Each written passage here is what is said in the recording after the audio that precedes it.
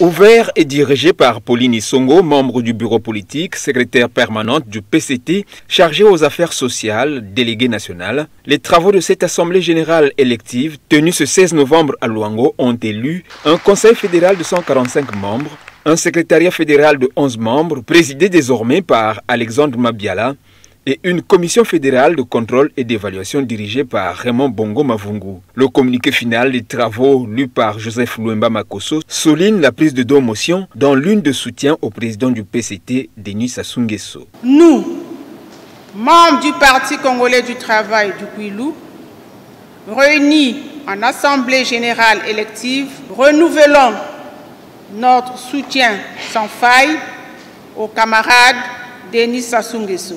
Soutenons la recommandation du 5e congrès ordinaire relative à la candidature à l'élection présidentielle de 2021. L'autre de confiance au secrétaire général du Parti congolais du travail, Pierre Moussa. Nous, participants à l'Assemblée générale élective des membres du Parti congolais du travail du Kouilou, adressant nos vives et militantes félicitations au camarade Pierre Moussa, le rassurant de notre engagement à l'accompagner dans sa lourde et exaltante mission. Nouvellement élu, le président fédéral Alexandre Mabiala a annoncé la reconquête des espaces pour bien mener la bataille de 2021. Je m'engage à poursuivre la bataille du parti au niveau fédéral.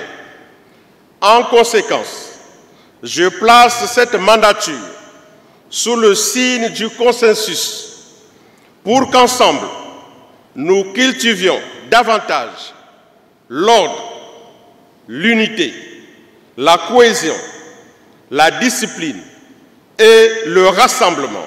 Ranger toutes les forces en ordre de bataille derrière le président Denis Sassou Nguesso. Signalons que cette Assemblée générale élective vient clôturer le travail de restructuration des organes intermédiaires et de base du parti dans le département du Kouilou.